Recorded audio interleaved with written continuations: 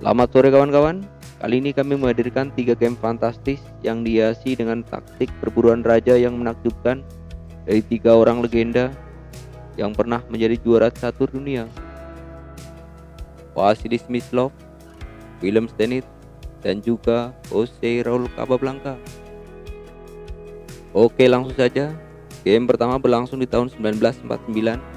Vasily Smyslov sebagai putih bersua dengan International Master asal Hungaria, Tibor Florian. Pertandingan keren ini dibuka dengan Grunfeld defense.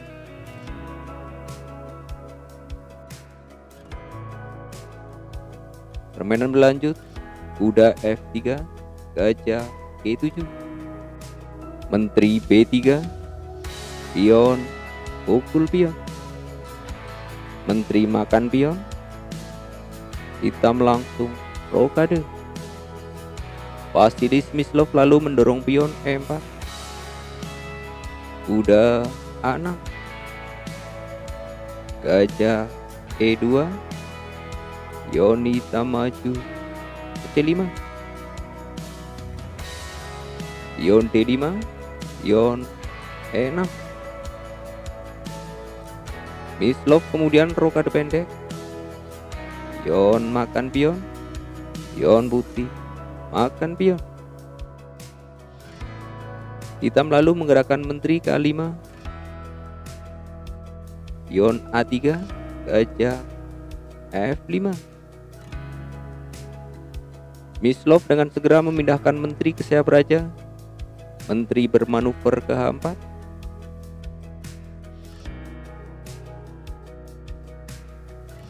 Direspon dengan benteng.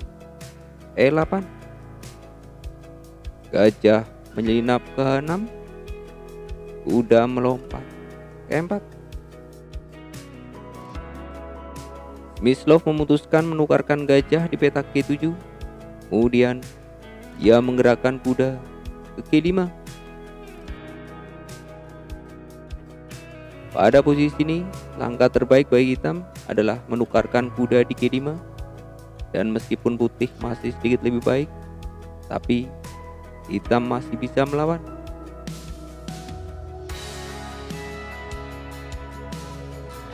Yang terjadi pada game aslinya di posisi ini hitam memilih melangkahkan kuda makan kuda di C3. Langkah ini disambut baik oleh Smyslov dengan langkah skak Menteri H7 Raja mengancam kuda ke F6 Ibalah oleh Smyslov dengan pion makan kuda. Sang Maharaja Hitam menyatap kuda. Di sini, meskipun gajah putih sedang diancam oleh benteng, tapi Smyslov tak peduli. Smyslov pada posisi ini memilih sebuah langkah yang sangat senyap, namun sangat-sangat beracun, yaitu menteri bergeser ke G7.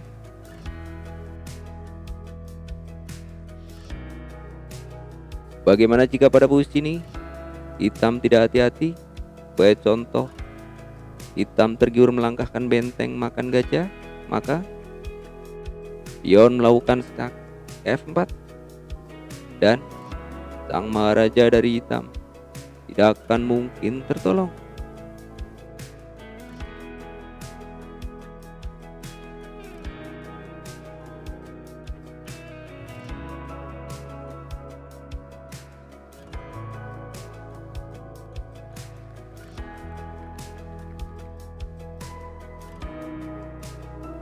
Menyadari akan bahaya yang sedang mengintai pada game aslinya, langkah menteri K7 ini, hitam langsung waspada.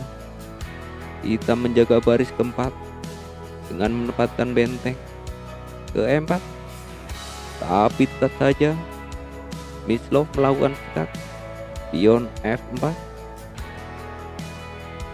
benteng makan pion benteng makan benteng. Sang Maharaja menyata benteng disambut Smyslov dengan langkah skak benteng F1 Raja mengancam gajah G3 Menteri E5 tak. Raja berlari ke D2 Gajah C4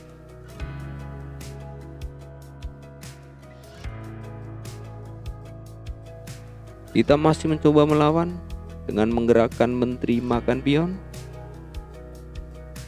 Tapi setelah Smyslov melakukan skak, benteng ke F2 pada posisi ini hitam akhirnya menyerah. Hitam memutuskan menyerah karena Raja ke D1 akan berhadapan dengan langkah skak Menteri E2 Raja C1 Menteri E1 Mat.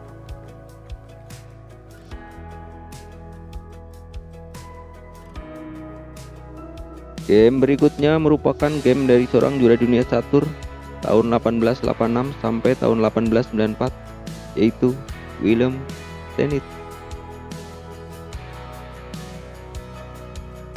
Game keren yang berlangsung di Vienna tahun 1860 ini dibuka dengan Scotch Game. Pertarungan berlanjut. Pion pukul pion. Gajah C4. Menteri E7 Willem Stenit Rokade.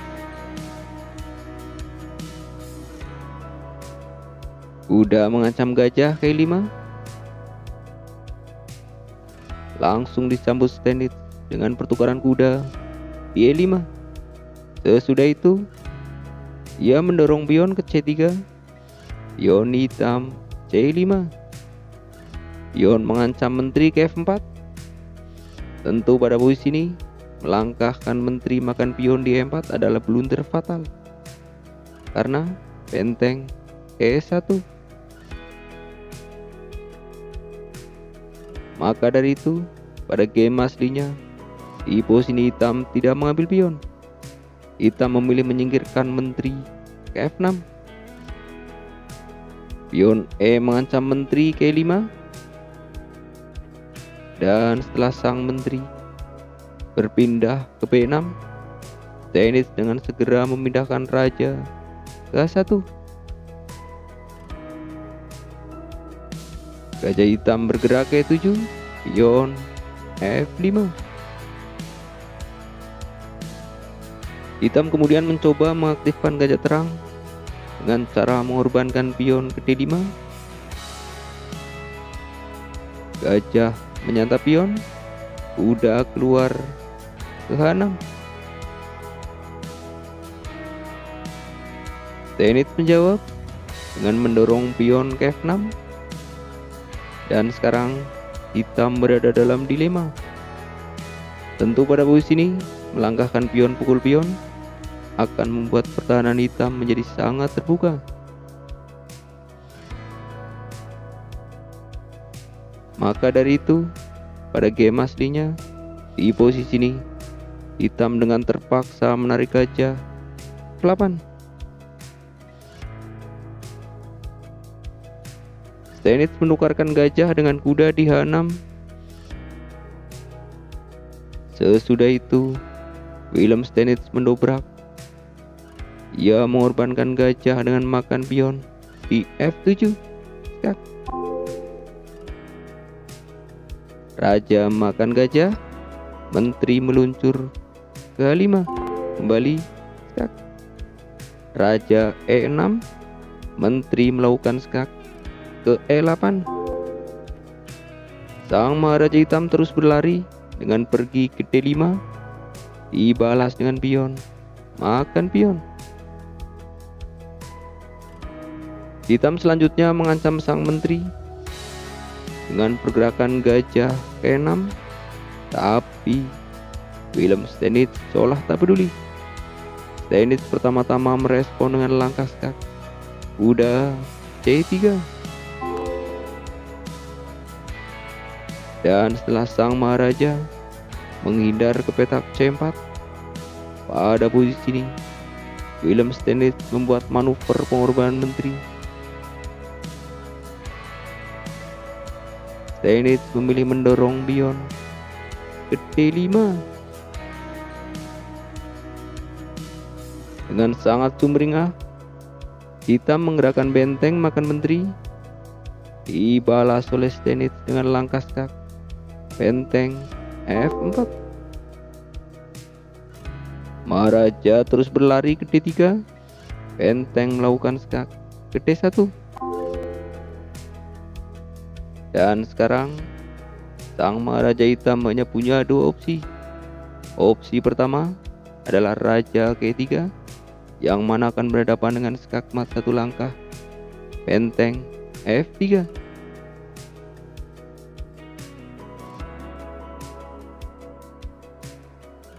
Pada pertandingan aslinya Di posisi ini Sang Maharaja Hitam memilih opsi yang kedua Yaitu dengan berlari ke C2. Namun sungguh naas bagi sang Maharaja. Langkah ini langsung disambut oleh Stenit dengan benteng ke F2. Tetap saja cak.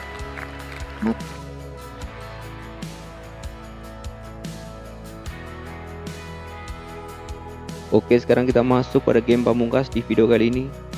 Sebuah game keren dari juara dunia catur tahun 1921 sampai 1927 Jose Raul Capablanca. Oke langsung saja. Game yang berlangsung di Los Angeles, Amerika Serikat tahun 1933 ini Dibuka dengan permainan 4 kuda.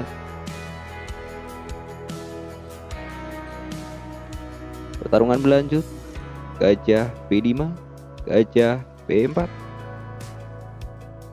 Dua belah pihak kemudian kompak rokade pendek. Kapal Capablanca mendorong D3, pion D6, gajah G5. Herman Steiner menukarkan gajah dengan kuda di C3. Sesudah itu, ia mereposisi kuda G7. Kuda bergerak ke H4 Pion C6 Gajah C4 Gajah hitam K6 Jose Rol Capablanca kemudian menghancurkan susunan pion dari hitam. Pertama Ia membarter gajah dengan kuda di F6 Setelah itu Capablanca juga menukarkan gajah E6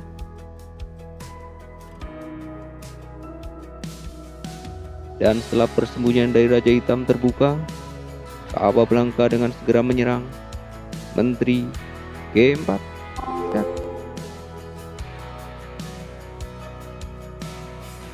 Raja F7, Pion F4. Hitam selanjutnya menyerang Menteri Benteng G8 Menteri kelima ya.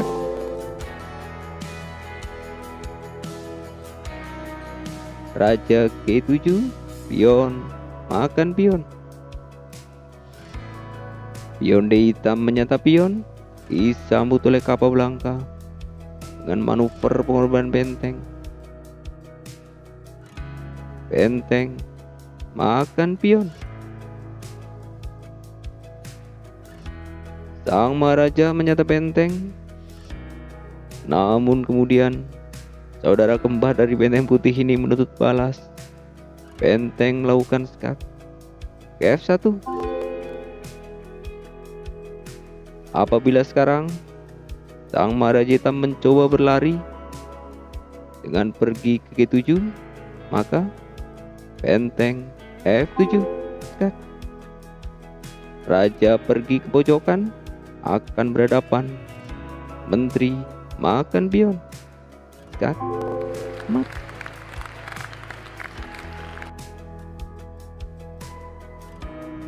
Karena alasan itulah pada game aslinya selangkah skak benteng KF1 ini hitam dengan terpaksa menutup skak kuda F5 langkah ini disambut Capablanca kuda pukul kuda.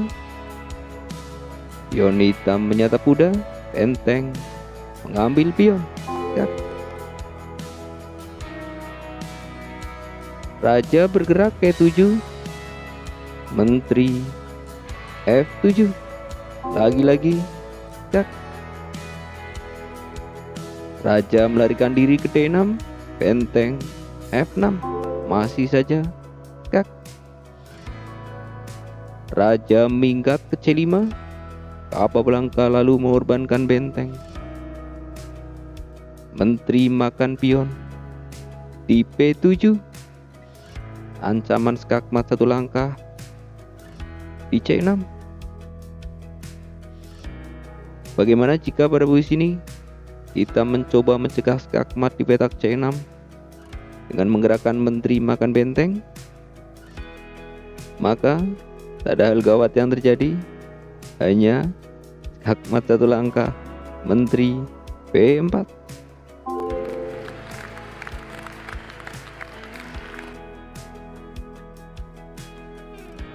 Pada pertandingan aslinya, langkah menteri makan pion di petak P7 ini, kita mencoba mempertahankan diri dengan menaruh sang menteri ke P6. Langkah ini lagi-lagi disambut oleh Capablanca dengan manuver pengorban benteng. Benteng makan pion.